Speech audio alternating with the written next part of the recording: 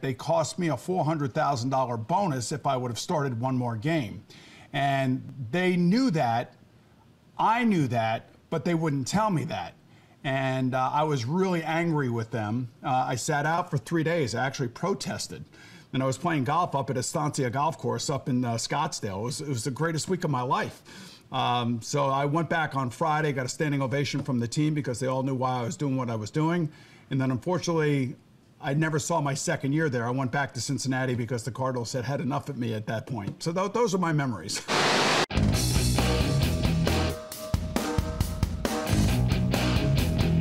This is the Extra Point Podcast from Arizona's Family. Well, thanks for joining us today for the Extra Point Podcast here on Arizona's Family. And we have an announcement. Former Cardinal quarterback, former NFL MVP with the Cincinnati Bengals, and NFL on CBS analyst Boomer Esiason is joining Arizona's Family. His show, Game Time with Boomer Esiason, will air Sundays at 4.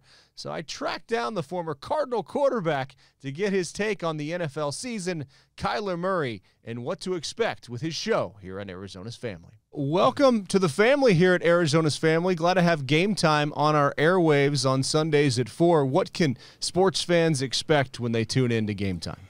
You know, you're going to hear a little bit about uh, biography of the, the guest that I have. As a matter of fact, we do have Cardinals kicker Matt Prater on. We talk about his move from Detroit uh, down to the desert. You know, how much I love playing in the desert, and certainly he does too. And it's more of a biography show than it is a uh, current events show, but he does talk about the upcoming season and stuff like that, as most of the athletes that I have on do. So it's a, uh, it's a comprehensive show, it's a, a biography show, and we have everybody from Olympic athletes to football players, baseball players, NASCAR drivers, you name it, we have it, and I've talked to them. How much do you think Matt Prater is going to make a difference on a Cardinal team this year that missed uh, three field goals down the stretch that, that probably could have gotten them into the playoffs last year? I think everybody will tell you that Matt Prater is a money kicker, and that's why the Cardinals went out to get him. There's no question about it, and uh, he's got a strong leg. He can win games from you know 65 yards. Uh, this is a guy that basically has a tremendous career. He's in the midst of a tremendous career, and hopefully you know, he's going to be one of the reasons why they win games this year as opposed to losing them. You know, the Cardinals were there. They were eight and six with two games to go. They ended up losing their last two games. I did their last game at the Rams, and unfortunately, Kyler Murray got hurt in that game. But at the end of the day, this team is still an offensive dominated team, I believe, who should have a much better pass rush with the addition of uh, J.J. Watt. Yeah, you look at the talent on the roster, and you look at that pass rush. Now they did lo- lose Patrick Peterson this this last year. Uh, they they're they're loaded at corner as far as just uh, people that can go out and play corner. How much do you feel like getting to the quarterback could help that defense, and also help help Kyler Murray? We've seen kind of a, a clunky offense that has yet to really find its flow in the NFL with Cliff and Kyler. You know, I'm glad I'm glad you said that because the clunky offense is a, a direct attribute of what Kyler Murray has become as a quarterback in the NFL. He's he's requiring too much of his athleticism to get out of trouble, as opposed to refining his game. You know, Josh Allen was this way when he first got to Buffalo, and now that Kyler's in his third year, it reminds me a lot of where we were with Josh entering his third year last year for the Buffalo Bills. You know, he was a bucking Bronco. He was a big kid. He was running all over the place. The Buffalo Bill fans were getting frustrated with the way that he was playing. And I kept saying, you know, it takes a while for these kids to truly understand you know, the dynamics of being an NFL quarterback and really being a consistent NFL quarterback week in and week out. And lo and behold, last year, Brian Daboll, their offensive coordinator up in Buffalo, helped uh, Josh Allen refine his skills. This is what Cliff Kingsbury needs to do with Kyler Murray. They have to understand defenses. They got to get rid of the ball. They have to trust what they're reading downfield.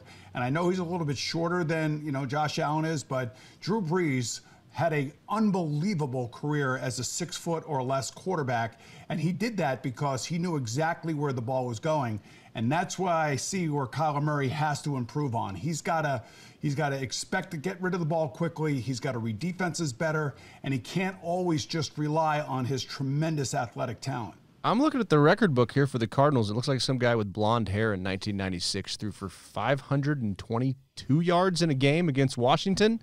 Um, yeah, we won. Yeah, we won the game, but I also threw a few interceptions that forced me to throw more in that game. So, so a little bit of bad, a lot of good, and it was a great, uh, great memory for me. Uh, what what jumps out when you go back to your your season as quarterback of the Arizona Cardinals? What what are the memories from that year?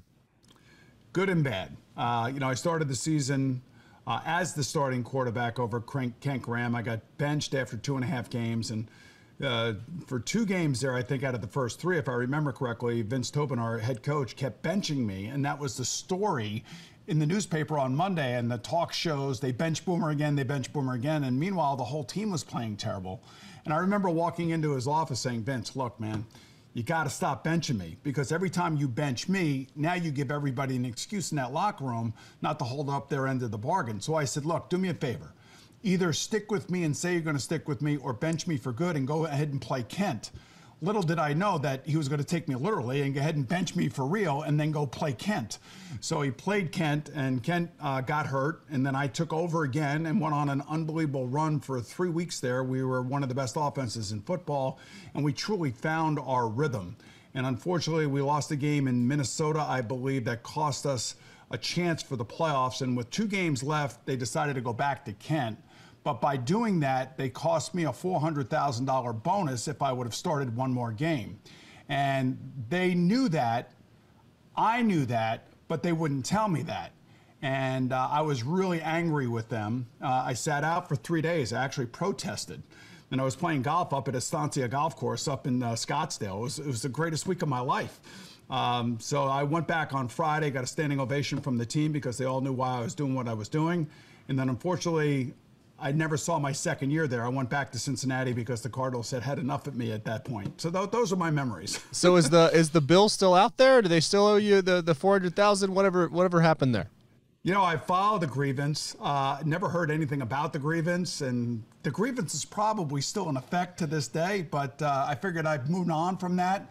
And uh, quite frankly, Michael Bidwill, every time I see him, he's very nice to me. And I think it really took Michael to get this organization from where it was into the next century and with that beautiful new stadium out there, and then of course the success that they had with Carson and Kurt Warner and everything else, we are miles away from where we were back in 1996. Well, and and take me into just the the yo-yoing of, of quarterback. I mean, you you were an NFL MVP. You went to the Super Bowl. You, you you went to your hometown Jets. You ended up out here in the desert. You were getting benched and and going through that adversity. How much does the, the the low points in that story help you with the show you're doing here on Arizona's Family and teasing out what what people's stories are and what makes people tick. I, I, certainly can commiserate with a lot of my guests. There's no question about that. And we have a lot in common. You know, there are a lot of people that didn't think that I was going to be able to make it. A lot of the guests that come on here tell me about their backstories, where they come from, you know, who in their life was important to their success and how they made it. We know we had Austin Ekeler on uh, this past week, and his story is totally amazing. I mean, he, he grew up in a farm in Colorado, went to Western Colorado, didn't get invited to the combines, was signed as an undrafted free agent for San Diego, and just signed a four year, $25 million contract extension. So those are the types of stories that we look for. And, you know, that's kind of like my backstory as well. But I always say this about an NFL quarterback. If you want them to be successful, the most important attribute that any organization can have is stability. And stability has to be at the top. It has to come from ownership to the general manager to the coach, and they all have to be in sync. So I, I was with the Jets. I had three coaches in three years. Uh, I was with the Cardinals for one year, so that was a different head coach. And then I went back to Cincinnati and had another head coach my final year. So uh, it wasn't the, the best way to be successful towards the end of my career, but the first part of my career with Sam Wyche and the Cincinnati Bengals certainly was the most memorable part do you think the Cardinals can take a step forward this year and, and, and kick the door into the playoffs based on that stability? You know, they're close. And I know that they go out and get A.J. Green and J.J. Watt and Malcolm Butler for a reason. Those guys are great pros. And much like when I went to the desert towards the latter part of my career, you know, they're relying on their pro experience to bring a locker room together and, and, and fight for one another and teach players how to become teammates and take some of that pressure off of Kyler Murray you know, they're in the toughest division in football as we get ready to start the season. Now, that could change due to injuries as we see throughout the year, and especially with 17 games this year. Uh, Kyler has got to take the next step. If they want to be a serious contender, he's got to turn into Russell Wilson. I don't care. You know, that's the perfect example.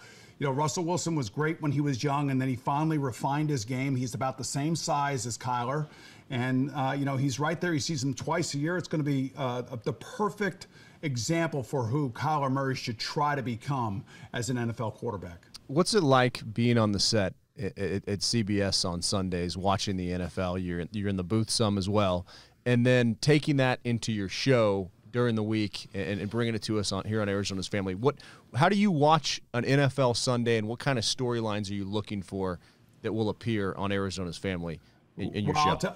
I'll tell you, you know, I sit there with Phil Simms, Coach Cowher, and Nate Burleson, and uh, all three guys are just terrific football guys. They all have such knowledge, and we're bantering back and forth offset. I wish they would actually show what we do offset because it's pretty funny the way that we interact with one another depending on whatever games we're watching. But we're always looking for the top end stories. We're always, you know, when Kyler was the first overall pick for Arizona and he started, you know, that's one of the, you know, leading stories going into the year two years ago. So now as we get ready to move into 2021, you know, you got Sam Darnold down in Carolina, you got Zach Wilson, you got Trevor Lawrence, you got Zach, uh, uh, Mac Jones. I mean, you got Daniel Jones here in New York. You got all these great young quarterbacks.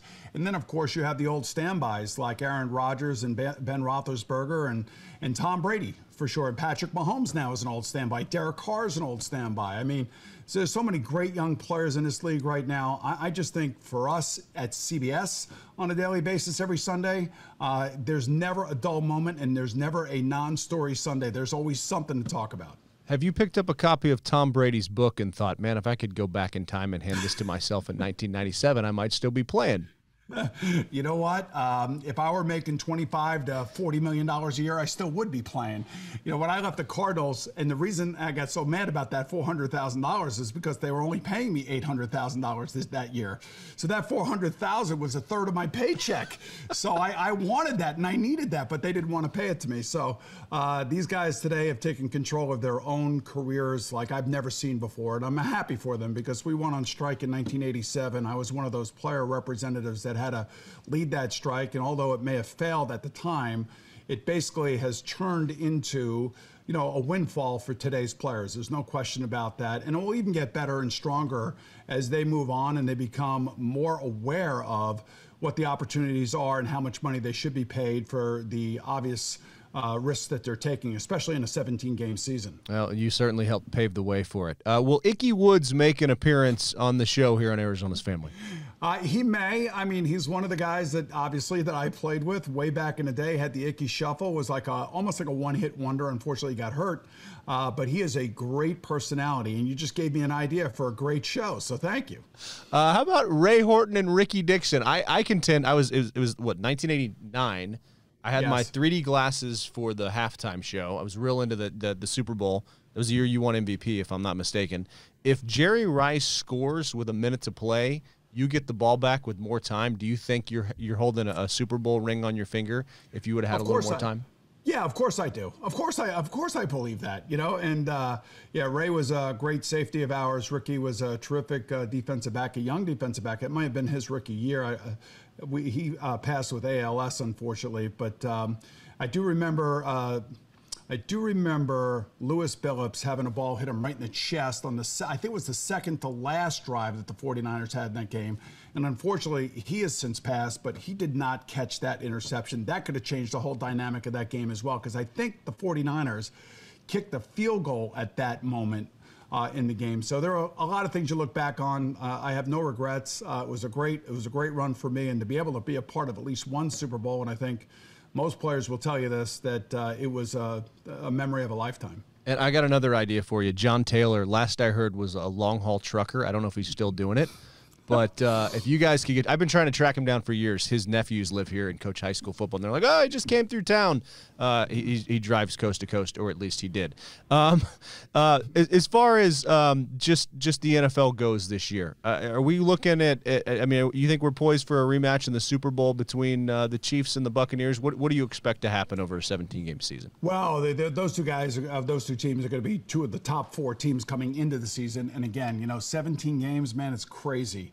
Uh, you know, nobody's playing in the preseason right now because these coaches realize that 17 games is going to be a marathon and just that one extra game. Even in the past years, I remember week 14, 15, and 16, you see shell of teams because uh, so many guys are hurt. Um, you know, Tampa Bay and uh, and Kansas City are going to be right there at, at the at the forefront of, of the line, but there are other teams that are coming. You know, other teams that you know had injuries last year that are going to be better. And, I, am gonna I'm gonna tell you something here. I think the Bengals are going to be shockingly pretty good. You know, I'm you know nine and eight is what I'm saying for the Cincinnati Bengals, and maybe that gets them a wild card. Yeah. I just think that you know there's so many variables that are going into this season that we're not aware of just yet. That uh, it is going to be, as they always say, a marathon. Who wins more games this year, the Arizona Cardinals or the Cincinnati Bengals? I say the Bengals. So that would be that would be eight and nine for the Cardinals. Does does that get them into the playoffs? it may. I mean, think about what we just said: eight and nine and nine and eight. We have to get used to saying numbers like that because obviously the first year with 17 games. But um, you know, they're they're like both of those teams are like middle of the pack teams, and I know that with guys like AJ Green and JJ Watt and Malcolm Butler, you know Chandler Jones and Kyler Murray and Larry Fitzgerald and DeAndre Hopkins, just saying, okay, this is an all-star team. This should be a really good team. Uh, but the problem is, is that you know they're going to see Matthew Stafford now with the Rams. They'll be better offensively. A healthy Russell Wilson is going to be very difficult to deal with, you know. And then of course, you know, you're going to have great defenses. San Francisco should be better. They didn't, you know, they had just a terrible injury run last year, and if they get, you know, Joe, uh, Nick Bosa back, uh, they're going to be they're going to be tough to deal with off uh, defensively. So I, I, just think that whole division is going to be beating itself up. And, and you mentioned Larry, and we've been kind of uh, th- that's been the hot storyline out here. He said he doesn't have the urge to play. He's not retired. He's doing radio with Tom Brady and Jim Gray. You mentioned the injuries late in the year. He's entering his 18th NFL season. Hasn't showed up for training camp yet if a guy hasn't retired by now, do you think he still could end up playing this season? What, what do you think it looks like for Larry Fitzgerald uh, when this season's all said and done? Well, that's why I bring up his name. The fact of the matter is, is that you know why does a guy like him have to go through training camp? Uh, I, to me, the Arizona Cardinals have him in their back pocket if they need him, and maybe they don't need him, uh, and maybe they won't need him.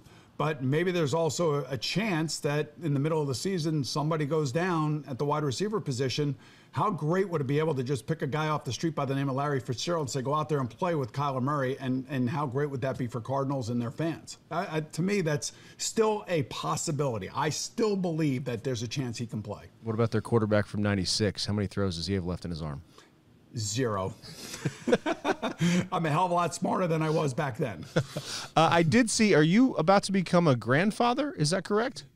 Well, I'm already one uh, in uh, with the grandchild. Uh, my daughter had a, a, a, daughter herself last year. Her name is Winnie, and my son Gunnar, uh, who has cystic fibrosis, and his wife are expecting in December which is amazing. There's been major breakthroughs in the world of cystic fibrosis. Cardinal fans remember that, you know, obviously uh, at the age of, I think, five, uh, he was when I was playing for the Cardinals. He is now 30. He's married. He's getting his master's degree at Dartmouth.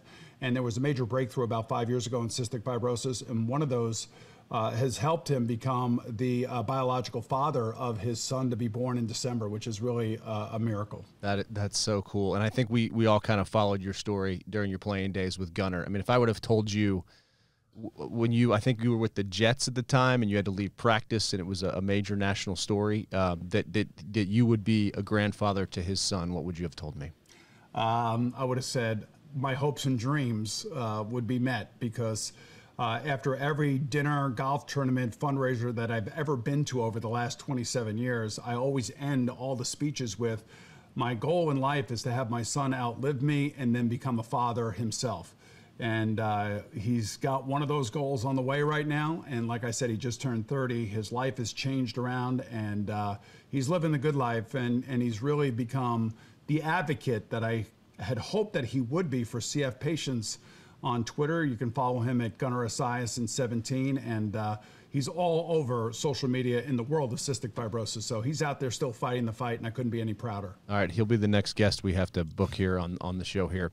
Uh, just for you, the show. What's it What's it look like this fall? Is uh, will Will Gunnar make an appearance? Do you have any? Uh, well, Coach Cowher, does he come in? Do you bring in the whole CBS crew and get like a right, bleep button? I, I, How's it go? I, I've already had Coach Cowher and Phil Simms on. We will have people.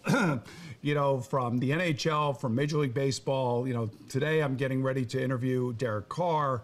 Uh, we'll have John Means from the Orioles. We'll have Alex Zverev from uh, the tennis world. Uh, we'll have Kyle Busch from NASCAR.